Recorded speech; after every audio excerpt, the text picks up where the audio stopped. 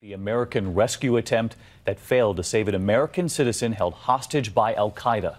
Luke Somers now pleading for help in a new video, and this evening, an urgent new plea from his family as well.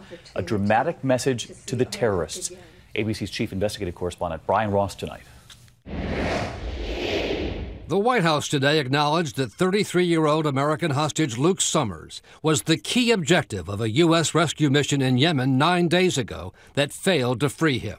My name is Luke Somers. Somers' hostage plight became public today after uh, Al Qaeda posted this video threatening to uh, kill him uh, three days from now. I'm looking for any help that can get me out of this situation.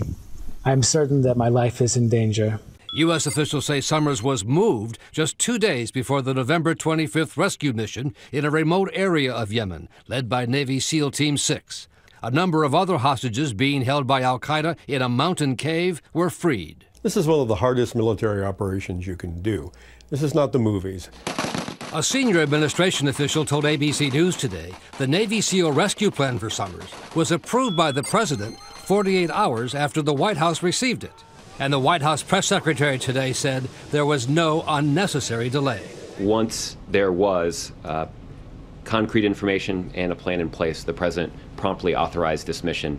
Late today, Somers' brother Jordan and mother Paula posted this heartbreaking message to Al Qaeda on YouTube. Please show mercy and give us an opportunity to see our Luke again.